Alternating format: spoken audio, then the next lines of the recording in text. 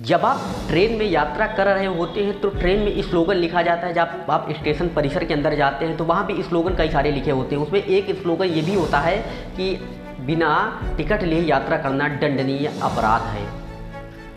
लेकिन यह जो नियम और कायदे कानून बनाए गए हैं, ये सिर्फ़ आम जनता के लिए हैं, जो अधिकारी हैं, उनके लिए नहीं बनाए गए हैं। एक ऐसा ही वीडियो वायरल हो रहा है, जिसमें दरोगा साहब एसी डिब्बे में बैठ जाते हैं। कोई नॉर्मल डिब्बा नहीं होता एसी डिब्बा बाकायदा अपनी फुल व्यवस्था से बैठ जाते हैं। और बैठे के बाद खुदा न खास्ता टीटी का वहाँ आगमन हो जाता है और टीटी टिकट देखने लगता है। दरोगा साहब के पास टिकट होता नहीं तो दरोगा साहब दिखाए क्या? नमस्कार, आप देख रहे हैं आर एक्सप्रेस और मैं हूँ आपके साथ ओम द्विवेदी। दरोगा साहब का एक वीडियो वायरल हो रहा है और वायरल वीडियो में दरोगा साहब काफ़ी झल्लाए हुए दिख रहे हैं। झल्लाए हुए क्यों दिख रहे हैं, इससे भी हम आपको रूबरू कराएँगे आखिर किस कारणों की वजह से दरोगा साहब बढ़िया रौब काटने में लगे हुए हैं।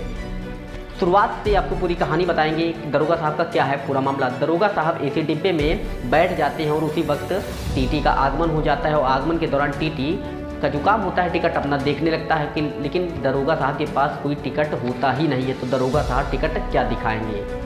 जब टीटी टिकट माँगता है तो दरोगा साहब झल्ला जाते हैं और दुनिया भर की बातें करने लगते हैं। बाकायदा एसी डिब्बे में बैठकर सफ़र करते हैं। सफ़र करने के बाद टिकट टीटी टिकट माँगता है तो टिकट नहीं दिखा पाते हैं और उनको अनाप शनाप बोलने लगते हैं। काफ़ी देर तक तू में हुई। तू में के बाद काफ़ी बवाल हुआ और वह वीडियो सोशल मीडिया पर जमकर वायरल हो रहा है। आपको बता दें कि दरोगा साहब टीटी को धमकी देने लगे कि तुमको मैं गोली मरवा दूँगा।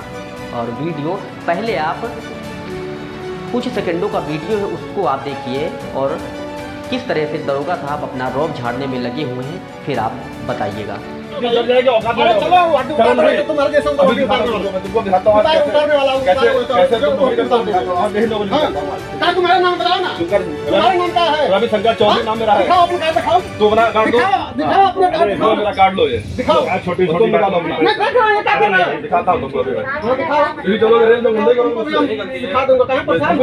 हूँ हाँ? तुम हूँ कैसे चलते रेल में कैसे तुमको चला जाता है तुमको मैं दिखाता हूँ जाओ एक कंट्रोल करता हूँ फिर ये उल्टा मारेंगे। अरे छोड़ो अरे नहीं। सर वीडियो देखा किस तरह से वीडियो में दरोगा साहब टीटी को धमकी दे रहे हैं। पूरा मामला क्या है उससे भी हम आपको तारु करा रहे हैं। पूरा मामला एसी कोच में बिना टिकट यात्रा कर रहे वर्दीधारी दरोगा उस समय आग बबूला हो गए जब टीटीई ने उनसे टिकट मांग लिया और टीटी टिकट दिखाने के लिए कहते हैं और दरोगा जी उन पर रौब गाटने लगते हैं।